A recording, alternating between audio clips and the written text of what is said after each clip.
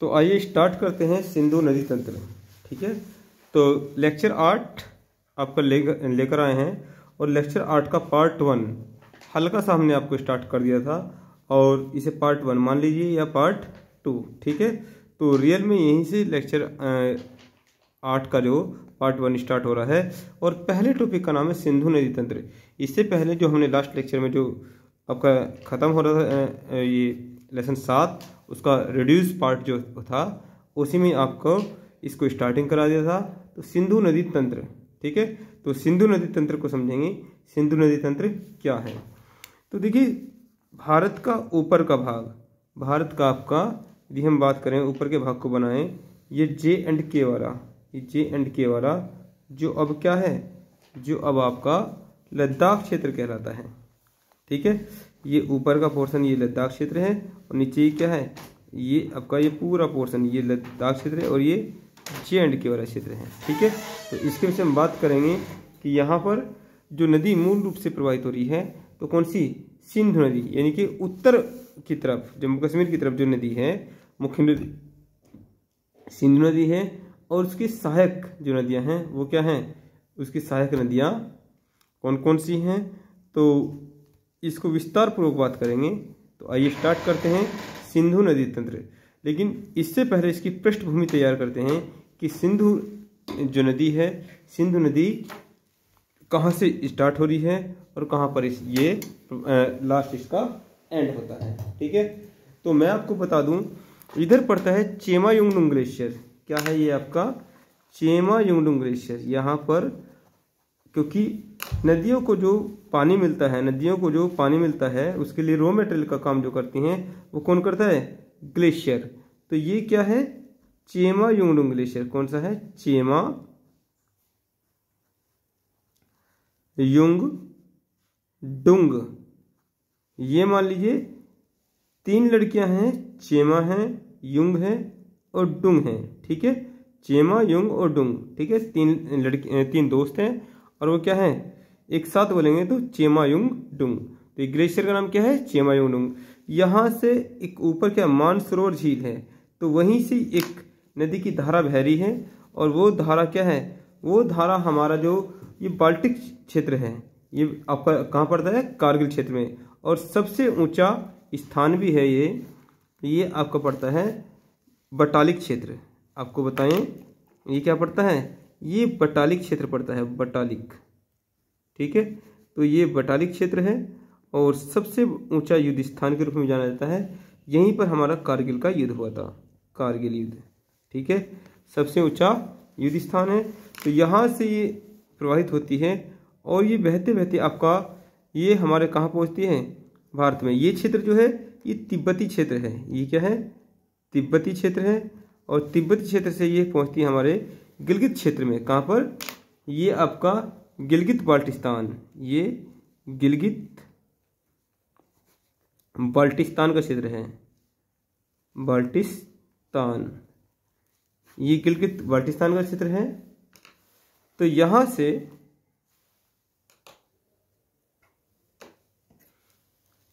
यहाँ से ये नदी पहुँचती है पाकिस्तान क्षेत्र में, ठीक है?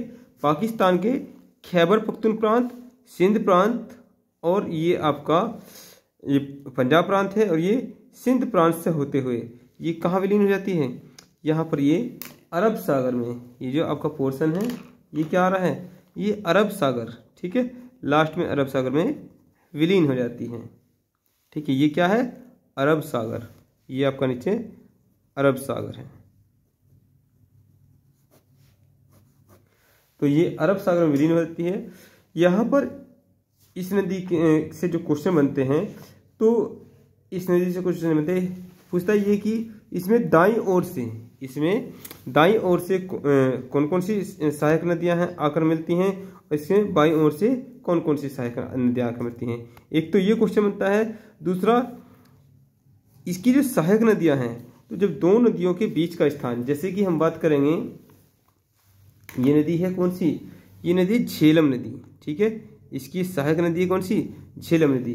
तो यहाँ पर झेलम, यहाँ पर ये मेन नदी कौन सी है? सिंधु नदी। ये सिंधु नदी है, ठीक है? ये सिंधु नदी है और ये क्या है? ये झेलम। तो ये क्वेश्चन बनता है कि यहाँ पर ये जो बीच का पोर्शन है तो बीच का पोर्शन दो नदियों के बीच के स्थान को क्या कहते हैं? दोआब बोलते हैं, ठीक है?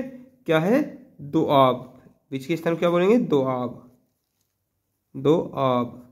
दोआब का मतलब होता है उपजाऊ भूमि। नदियों के बीच में जो उपजाऊ भूमि है, वो क्या कहलाएगी? दोआब।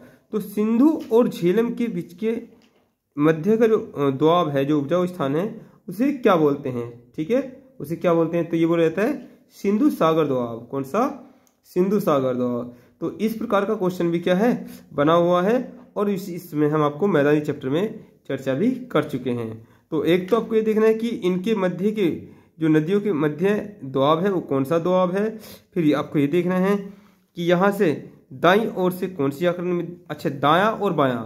नदियों का दाया और बाया क्या है? तो ये बड़ा इजी है। यदि सपोज़ करो ये नदी क्या है? ये चेमायुंग ग्लेशियर से निकली है, ठीक है? और इधर क्या होते हुए ये पूरा अरब सागर में आकर ये विलीन हुई है। तो इधर की तरफ़ मुँह करके खड़े हो जाइए। तो आपका ये राइट हैंड आ रहा है। तो ये क्या होगा? ये दाई ओर, ये दाई ओर होगा और ये क्या होगा? बाई ओर होगा। तो पहला क्वेश्चन ये हुआ कि ये कहाँ से निकली है और किन किन रास्तों से होकर ये कहाँ इसका अंत होता है? ये वाला पॉइंट दूसरा पॉइंट आपको ध्यान रखना है कि दाई ओर से कौन सी आकर नदियाँ मिलती हैं? तीसरा, बाई ओर से कौन सी आकर नदी मिलती है? तो ये वाला पॉइंट रहा। फिर पॉइंट आएगा इसका आपका कि इसमें जो इसकी नदियाँ हैं तो इस सारी नदियाँ जो इधर बाई ओर से आकर नदियाँ मिल रही हैं तो वो क्या हैं? वो सारी की सारी पाकिस्तान में सारी की सारी पाकिस्तान में क्या मिठान कोट पर वो सिंधु नदी से मिल जाती है। तो यहाँ पर सारी नदियाँ क्या हैं? पाकिस्तान को की तरफ़ जा रही हैं। तो यहाँ पर क्योंकि हिंदुस्तान में बह रही है, मूल पार्ट हिंदुस्तान में बह रहा है तो पाकिस्तान में पानी का यदि इनको रोक दिया जाए तो पाकिस्तान में पानी का अभाव हो जाएगा। और सुप्रीम कोर्ट ये कहता है कि नदियों का जो जल है, जो नदियों का जल है, वो किसी की जायदाद नहीं है। जिधर ढाल होगा, उधर का भी ध्यान रखा जाएगा।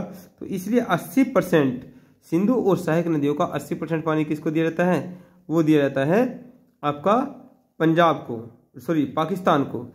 ठीक है? इसके लिए क्या है? सिंधु जल समझौता भी किया गया है। तो आज जो हम देखेंगे, इन्हीं बातों को देखेंगे तो सबसे पहले इसकी पृष्ठभूमि जमाते हैं। ये अपने चित्र बना लिया होगा, इसको नोट कर लीजिए और फिर आगे बात करते हैं। ठीक है? जल्दी से नोट कीजिए।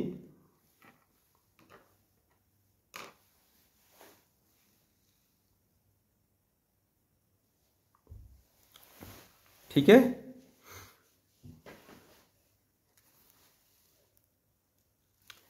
तो सबसे पहले इसकी पृष्ठभूमि जमाते हैं। देखिए नदियों के किनारे। यदि हम सिंधु नदी की बात करेंगे तो भारतीय संस्कृति जो स्टार्टिंग मानी जाती है, वो आपकी सिंधु नदी के किनारे से ही स्टार्ट मानी जाती है। भारत का जो जो भी पूरा समुदाय है तो पूरा भारतीय समुदाय इसी के आसपास सबसे पहले उसने पनपना स्टार्ट किया। इसलिए भारतीय संस्कृति को ये सिंधु संस्कृति के नाम से भी जाना जाता है। न केवल सिंधु संस्कृति के नाम से, बल्कि हमारे देश का नाम जो हिंदुस्तान है, वो भी इसी नदी के आसपास रहने के कारण वो पड़ा है। तो आइए इस बात को लिखते हैं। तो सिंधु जो सिंधु नदी है, पहला पॉइंट इसमें लिखेंगे। तो इंट्रोडक्शन लेंगे इंट्रो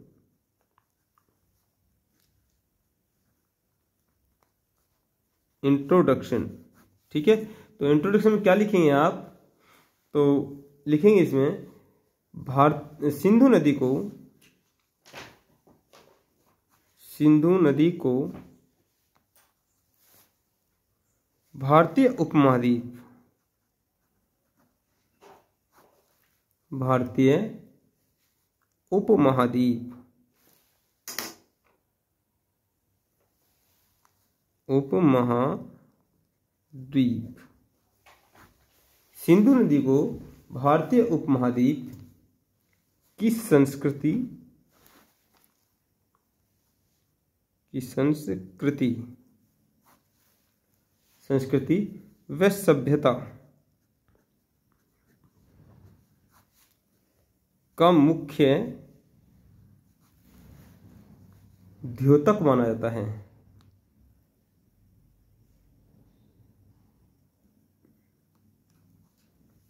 द्योतक माना जाता है।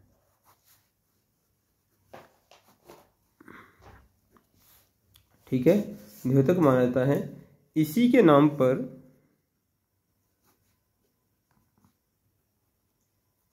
इसी के नाम पर हमारे देश का नाम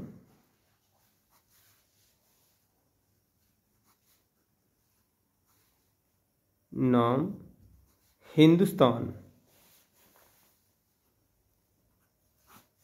हिंदुस्तान पढ़ा क्या बैकग्राउंड है इसका? असरत में जो फॉरेन कंट्री से लोग आए तो सबसे पहले हमारे एशिया में से लोग आए तो ये कौन थे? ईरानी। तो ये क्या बोलते थे? ये बोलते थे, ये से इनको है नहीं बोला जाता था। इनको क्या है? इन्हों, सिंधु, से इनको बोला नहीं जाता था तो से को क्या बोलते थे? ये है बोलते थे। तो सिंधु नदी को इन्होंने हिंदू नदी कहा तो इसके किना इसके किनारे के क्षेत्र को इन्होंने क्या हिंदुस्तान कहा। ठीक है तो इसी के नाम पर क्या है? हिंदुस्तान नाम पड़ा है। ठीक है? अब क्योंकि ये जो नदी है, ये नदी आपका तिब्बती क्षेत्र में, भारतीय क्षेत्र में और पाकिस्तान क्षेत्र में तो तीन देश तीन तीन देशों से होकर जा रही है। ठीक है? इस नदी को पॉइंट बनाएँगे। इस नदी को ट्रांस इस नदी को ट्रांस बाउंड्री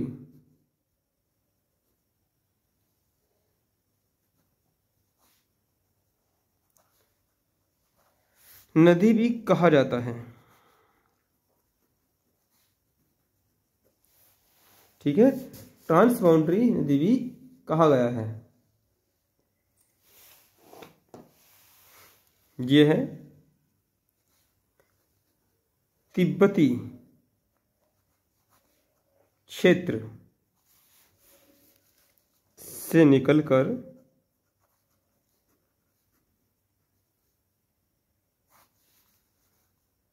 भारत, और भारत में कहा? लद्दाख। ठीक है? लद्दाख व जे एंड के और दोनों क्या हैं? यूटी हैं। भारत से होते हुए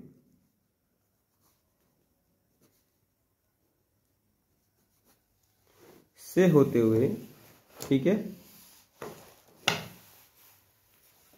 भारतीय क्षेत्र से होते हुए पाकिस्तान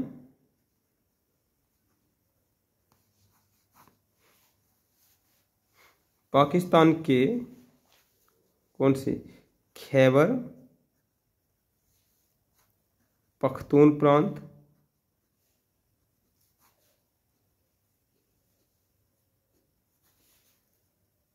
पंजाब प्रांत।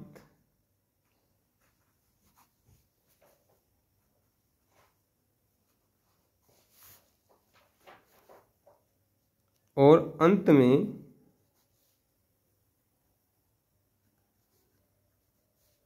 सिंध प्रांत से अरब सागर में अरब सागर में विलीन हो जाती है।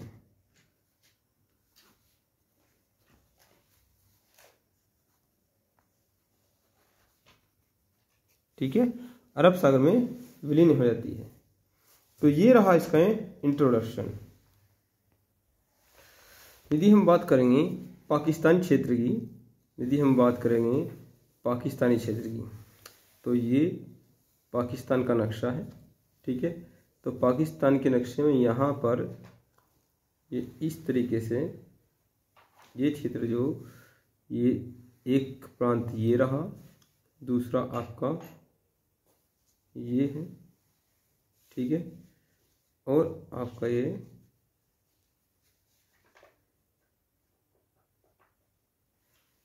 इस प्रकार से, ठीक है? ये आपका पाकिस्तान का नक्शा है और इसमें ये वाला जो प्रांत है ये है खैबर पख्तून प्रांत। खैबर पख्तून। पख्तून प्रांत। ठीक है? तो यहीं से एंट्री करती है। ये जो नदी है, आपका सिंधु नदी, खैबर पख्तून प्रांत से आएगी। इसके बाद ये आपका पंजाब प्रांत और ये आपका सिंध प्रांत से होते हुए ये यहाँ अरब सागर में क्या हो जाएगा? अरब सागर में विलीन हो जाएगी। ठीक है?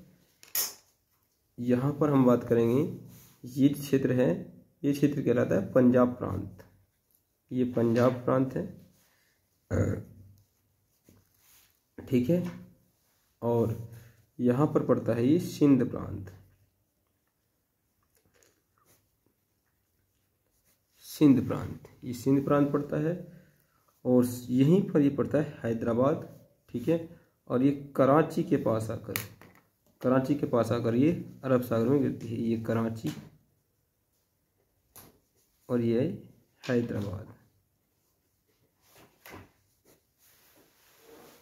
मेंशन करना चाहो तो आप इसे भी कर सकते हो। इधर जो ये आपका बर्जिस्तान प्रांत पड़ता है, ये बर्जिस्तान प्रांत है, ठीक है? और ये आपका बलूचिस्तान। ये देखा जाए तो यहाँ पर जो बलूचिस्तान है यहीं तक है, और ये पूरा क्षेत्र पूरा क्षेत्र क्या है? ये पूरा क्षेत्र बलूचिस्तान है। बलूचिस्तान। और बलूचिस्तान सबसे बड़ा प्रांत है, ठीक है? ये पाकिस्तान का सबसे बड़ा। प्रांत है एरी के हिसाब से, ठीक है? तो ये रही आपकी पाकिस्तान से संबंधित बातें, ठीक है? इससे ज़्यादा आपको जानकारी की आवश्यकता नहीं है। हम बात कर रहे हैं केवल सिंधु नदी तंत्र के परिप्रेक्ष्य में, ठीक है? बात करते हैं नेक्स्ट टॉपिक की, सिंधु की सहायक नदियाँ। सिंधु की सिंधु की सहायक नदियाँ। सहायक नदियाँ। ठीक है? अब इसे हम दो प्रकार से पढ़ेंगे। एक तो क्या है? जो बाई ओर से, बाई ओर से आकर मिलने वाली और एक दाई ओर से राइट साइड से, दाई ओर से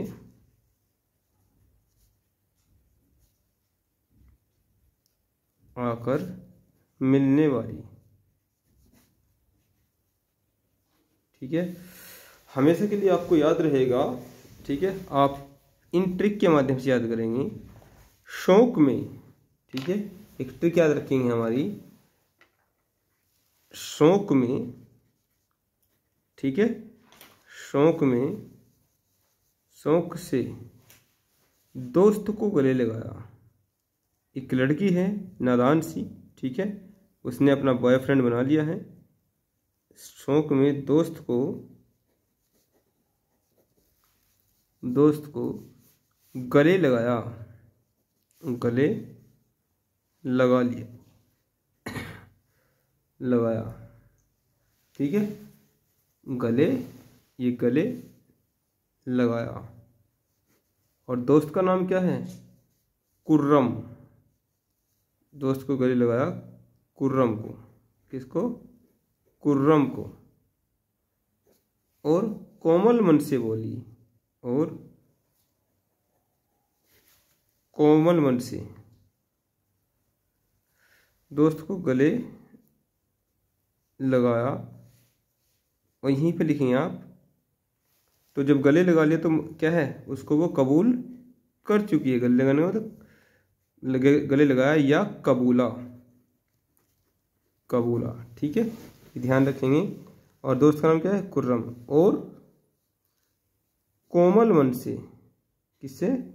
कोमल मन से, कोमल मन से बोली।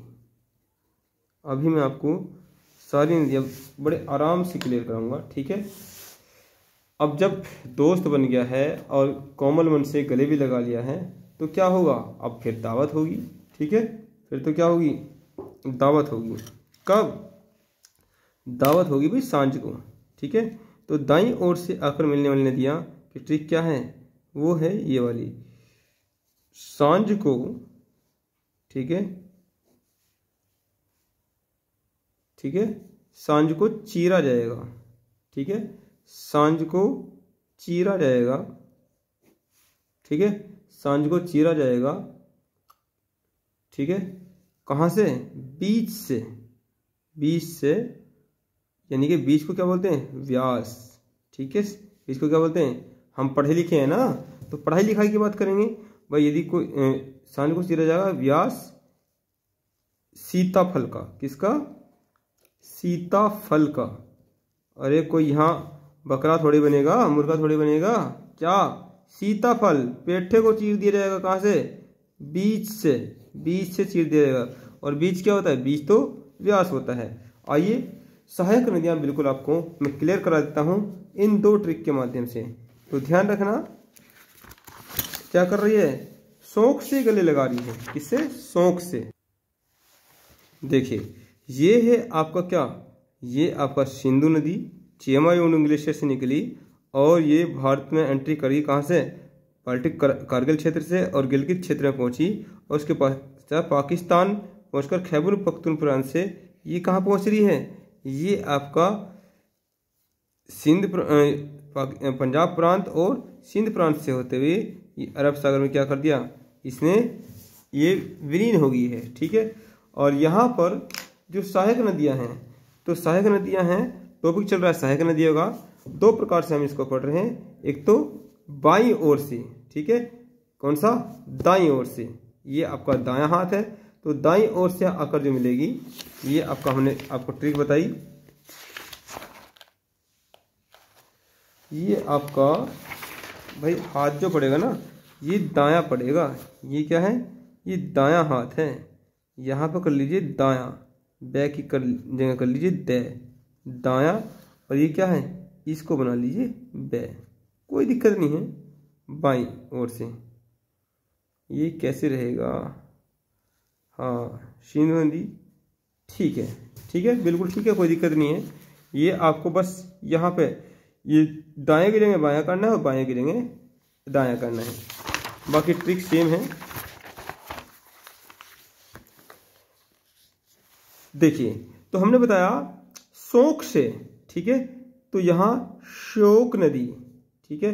यहाँ पर कौन सी नदी सहायक नदी आकर मिल रही है? शोक नदी, ठीक है? तो शोक से दोस्त को द्रास नदी, ठीक है? दोस्त को द्रास नदी, ठीक है? गले लगाया गिलगित नदी, कौन सी? गिलगित नदी। गिलगित गिलगित नदी। शौक से दोस्त को गले लगाया और ये भारतीय क्षेत्र खत्म। ठीक है? ये क्या है? ये भारतीय क्षेत्र की सीमा खत्म। ये था भारतीय क्षेत्र। ये भारत की बात चल रही थी। ये भारत वाला पोर्शन है। ठीक है? और ये इस तरीके से यहाँ पर रहेगा। ये भारत की बाउंड्री बनाई हमने। अब शौक से दोस्त को गले गले लगाया। और दोस्त का नाम क्या है? कुर्रम। क्या है? ये आपका कुर्रम। कौन सा दोस्त है? कुर्रम। ये कुर्रम नदी कुर्रम नदी। अब जब गले लगा लिए तो क्या है? कबूल लिया भाई इसने तो। क्या कर लिया? कबूल लिया। काबुल नदी। कोमल मन से बोली, ठीक है? तो गोमल नदी, कैन, ये कोमल मन है, कै तो कै की जगह हम यूज़ करेंगे कै, ठीक है? गोमल नदी गोमल नदी, ठीक है? और बोली बोली से बोलन नदी, क्या है? बोलन नदी। तो ये रही आपकी दाई ओर से, ये रही आपका दाई ओर से आकर मिलने वाली नदियाँ।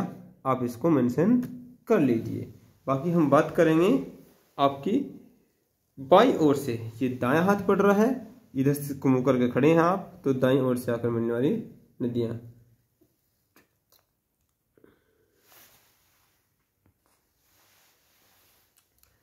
अब बात करते हैं बाई ओर से आकर मिलने वाली नदियाँ, ठीक है? तो ये रही आपकी ऊपर दाई ओर, ये दाई ओर की नदियाँ? ठीक है, सहायक नदियाँ, सहायक। अब बात करेंगे बाई ओर की, ठीक है?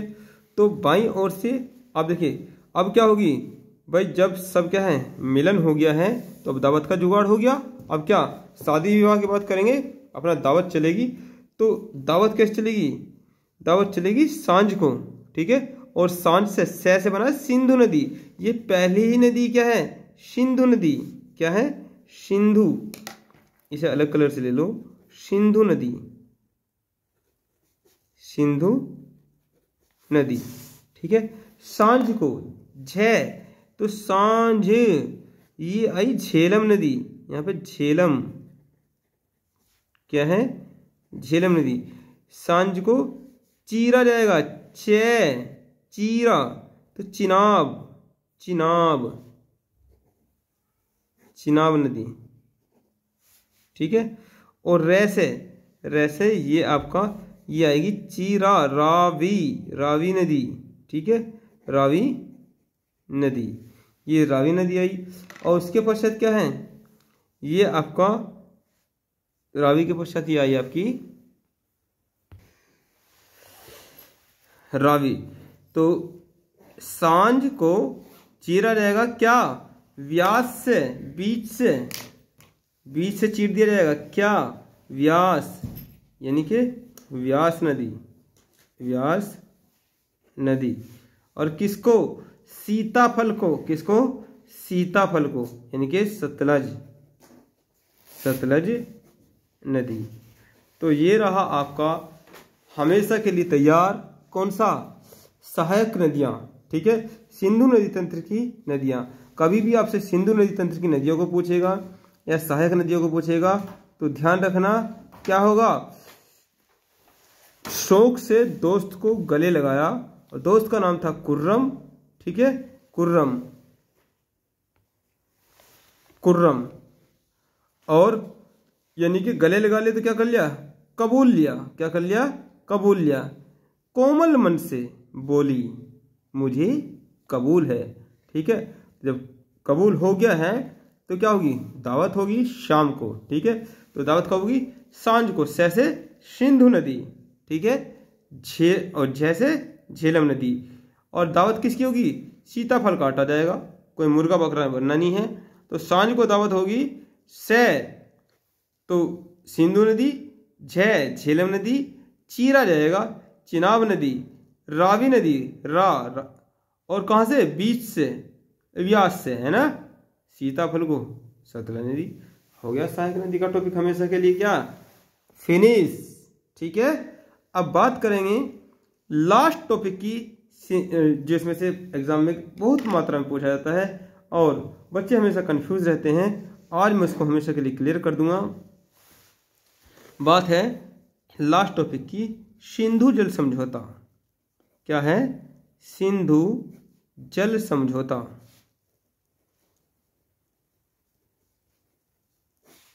सिंधु जल समझौता, ठीक है? तो इसके से हम बात करते हैं आइए। तो देखिए, यहाँ पर ये क्या है? ये पाकिस्तान है। ये क्या है? पाकिस्तान है। और यहाँ पर ये क्या है? ये हिंदुस्तान है। ये हमारा भारत, मेरा भारत महान। ठीक है? ये हमारा भारत है।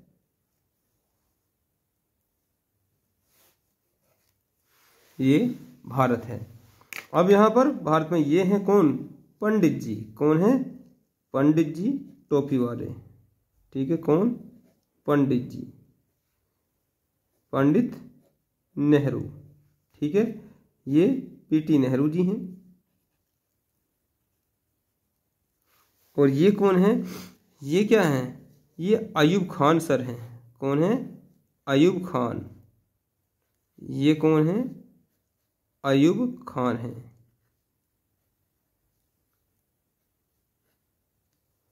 ये हैं अयूब खान। बात करेंगे दोनों मिलकर क्या? सिंधु के पानी के में इसके बंटवारे के विषय में और जो चीफ गेस्ट बनेंगे, ठीक है? वो कौन बनेंगे? ये बनेगा बीच में मध्यस्थ करने वाला वर्ल्ड बैंक क्या है? ये आपका वर्ल्ड बैंक वर्ल्ड बैंक ठीक है? ये कौन करेगा? मध्यस्थता करेगा। ठीक है? मध्यस्थता करेगा। तो क्या कह रहे हैं ये? ये कह रहे हैं कि भाई जो नदियाँ हैं ना, ये सिंधु नदी तंत्र की मुख्य नदियाँ जो हैं, ये एक नंबर, दो नंबर और तीन नंबर, ठीक है? ये, अब ये चार नंबर, पाँच नंबर और छः नंबर, ठीक है? ये नदियों को क्या है? इन नदियों में पानी जो मुख्य रूप से बह रहा है सिंधु नदी तंत्र में, इन नदियों में बह रहा है। बाकी ये सब नदियाँ क्या हैं? छोटी छोटी नदियाँ हैं। तो इन तीन नदियों का पानी क्या है?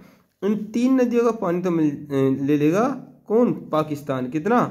अस्सी परसेंट। ठीक है? और नीचे की जो तीन नदियाँ हैं, नीचे की तीन नदियों का अस्सी परसेंट पानी कौन ले लेगा? ये भारत ले लेगा। ठीक है? ये आप एक काम करो, यहाँ से इस बात को काट कर यहाँ रख दो। ये क्या हमने बनाया था? ये अस्सी परसेंट कौन ले लेगा? ये पाकिस्तान ले लेगा। और यहाँ पर अस्सी परसेंट कौन ले लेगा? ये भारत ले लेगा। तो यहाँ पर भारत में कितना बचा? ये बीस परसेंट कितना? भारत में बीस परसेंट पानी, बचा और इधर की नदियों का बीस परसेंट पानी कौन ले लेगा? ये ले लेगा आपका पाकिस्तान। तो यही है सिंधु जल समझौता ठीक है?